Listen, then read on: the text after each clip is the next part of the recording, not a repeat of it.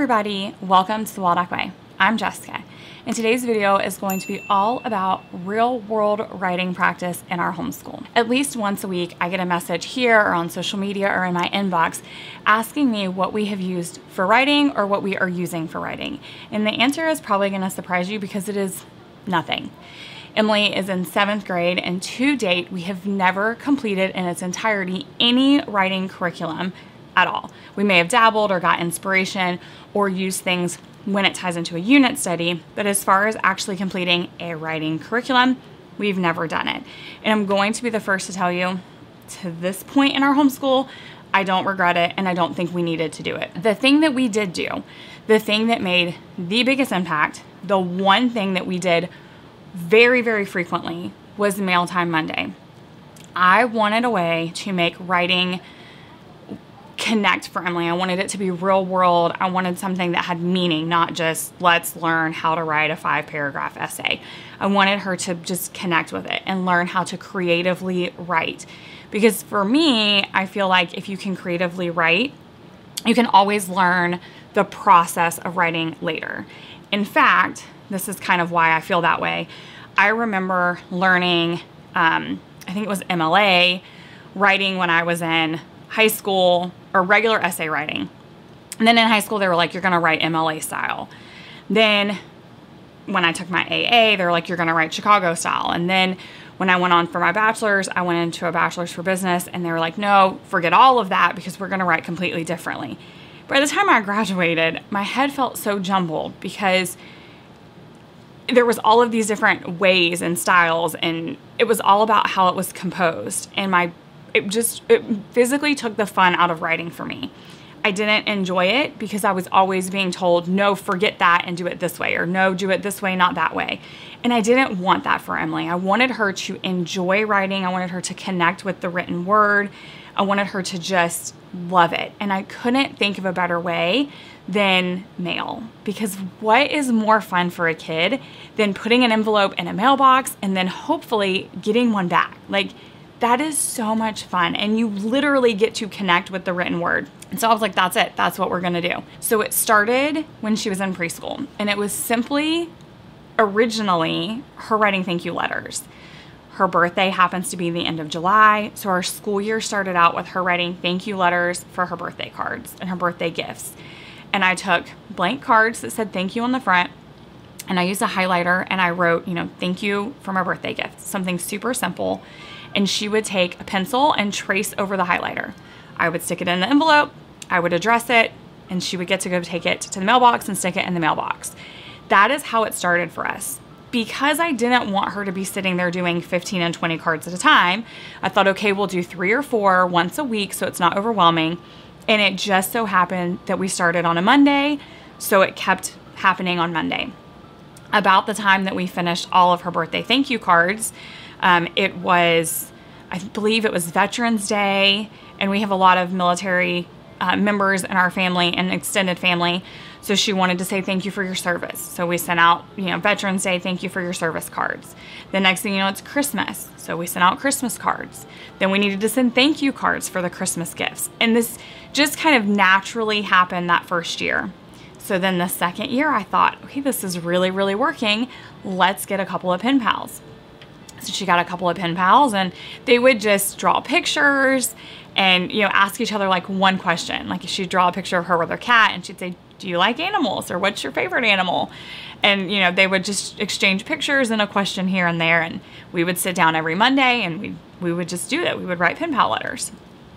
As time grew on, by the time she was in first or second grade, she was writing her own cards. She was learning how to address an envelope. Um, you know, how to write a letter properly. And then I thought, okay, we're going to take this up a level. And so we started incorporating uh, subscription letters into our Mail Time Monday. I subscribed to a bunch of subscription letters and we would sit down and we would read one subscription letter or I would read the subscription letter while she was drawing her card because she would like to do, you know, all these drawings and all of this stuff. And it just continued to progress into this beautiful thing that we have done every week for years now. Um, I keep a list on my phone as well as in a little notebook of birthdays, anniversaries. So if we sit down, she can say, oh, so and so's birthday is coming up, or so and so's anniversary, or, you know, Veterans Day, Halloween. And now she kind of has autonomy over this. And she's like, oh, Halloween's coming up. I need to send these people Halloween cards. Or, oh, I want to send a birthday card here. Or Mother's Day is coming up. Let me send a card to Nana. So we just sit down for now about an hour to two hours on Monday. And she does cards, addresses the envelopes, puts the stamps on them. We walk into the mailbox. And it's just become this whole thing that is a huge lesson. And it has been the most instrumental thing that we have ever done in our homeschool when it comes to writing. But this year, I decided I wanted to take it up another notch. And I just kept racking my brain on how I was going to do that. And I decided I wanted to incorporate technology because, let's be honest, technology is the way of the future. And so I decided that once a quarter, Emily would do a newsletter. She kind of loves the idea of social media, but we obviously will not allow it. And this way, her family and friends could keep up with her in a way that would be like a highlight reel. So, like, this is what I did over the summer. So, we created a newsletter. I made her a template in Canva, and she just plugs in whatever pictures and then she types whatever she wants for that last three months. And it worked beautifully. Everybody loved receiving the newsletter. She loved doing it. She felt like she was taking it up a notch. It was kind of grown up. Um, and she got a ton of amazing feedback. So I say this to all of you homeschool moms. Number one, you don't need the writing curriculum. Number two, you can start something super simple and it can grow with you and it can change and it can become this beautiful thing that you've done in your homeschool for years and you get to keep these as memories. Um, but don't like don't overlook the little things like a thank you letter counting as writing or something that can evolve into a newsletter. Don't overlook them. They totally count. Sometimes it means more to your child, to you, and to the people receiving it, and it will it will like cement better. Uh, in Emily's free time, she writes stories, and they're amazing. Like really, really good.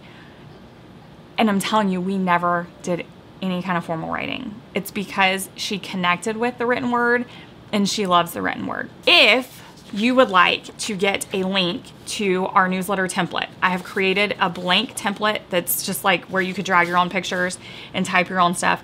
I'm gonna leave the link in the description box down below for how you can do all of that in case you wanna start your own newsletter. If you start it, I would love it if you would tag us because Emily and I would love to see them. And then also, I'm gonna leave a link to a couple of blog posts about how to teach writing without curriculum in case you want some more tips and tricks. But I will leave you with this.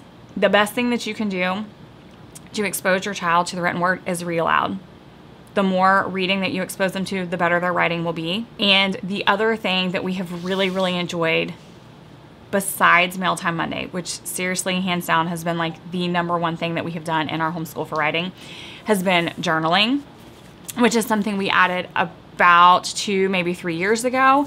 And it is just the simple practice of Emily and I sitting down together. We print out pictures with our sprocket and we just write, you know, some little things that are going on simple, nothing fancy. Do you practice real world writing in your homeschool? If so, I would love it if you would tell me down in the comments how you do that with your child.